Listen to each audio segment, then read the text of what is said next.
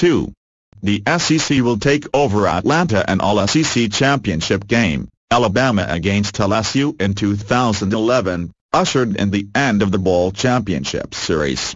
It's only fitting that the first same conference championship of the playoff era will again pit two teams from the league. As kickoff began here at the Superdome, Georgia was sealing a classic Rose Bowl win against Oklahoma, setting up a date with Alabama in the Bulldogs' backyard.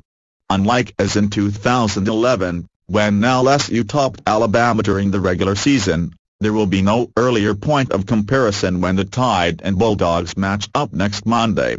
But there will be no surprises, Alabama knows what Georgia is about and vice versa, with Saban's former chief lieutenant, Kirby Smart, already installing his own version of the process to bring Georgia within a win of its first national title in decades. 1.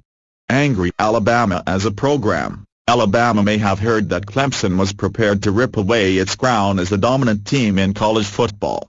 By controlling the line of scrimmage on both sides of the ball, dictating field position and dominating the time of possession, the Crimson Tide reasserted themselves in the third meeting with Clemson in as many years.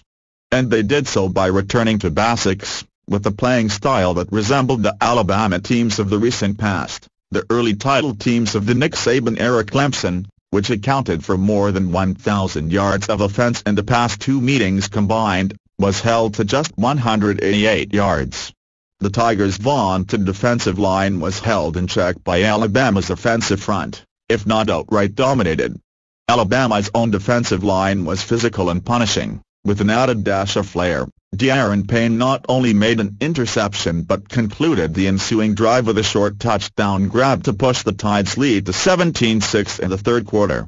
A pick-six by linebacker Mack Wilson on Clemson's next defensive play made it 24-6 and sealed the Tide's return trip to the title game.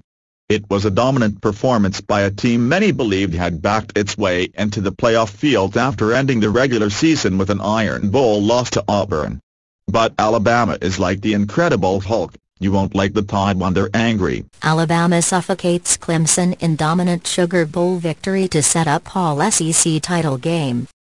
Sports Paul Myerberg and Nancy Armour break down Alabama's victory over Clemson in the Sugar Bowl, the third consecutive college football playoff matchup between the two programs. New Orleans, Alabama dominated Clemson 24-6 in the Sugar Bowl to take the rubber match between the two programs and book its trip to next week's college football playoff national championship game.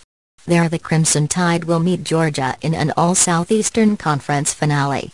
Here are three takeaways from Alabama's win.